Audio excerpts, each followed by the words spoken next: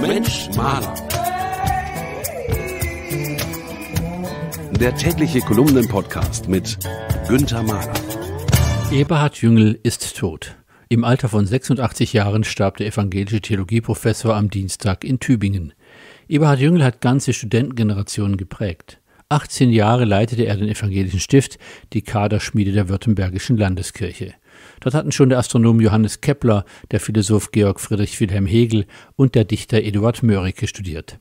Eberhard Jüngel wuchs in seiner Geburtsstadt Magdeburg auf und flog vom Gymnasium, weil er gegen die Beschlagnahmung diakonischen Eigentums durch das SED-Regime protestiert hatte.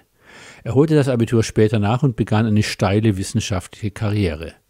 Jüngel promovierte zu Paulus und Jesus und war nach seinem Studium lebenslang Dozent. Über Berlin und Zürich kam er nach Tübingen, wo er bis zu seinem Tod lebte.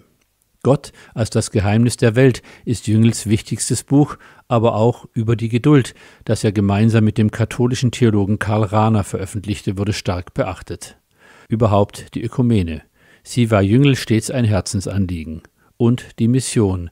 Eine Kirche ohne Mission bekomme Herzrhythmusstörungen, sagte er einmal. Seit Jahren litt Eberhard Jüngel an einer Viruskrankheit. Das muss nun tapfer ertragen werden, zitierte er seinen theologischen Lehrer Karl Barth. Am Ende seines Lebens freute er sich darauf, die Liebe Gottes in gesteigerter Form erleben zu dürfen, von Angesicht zu Angesicht.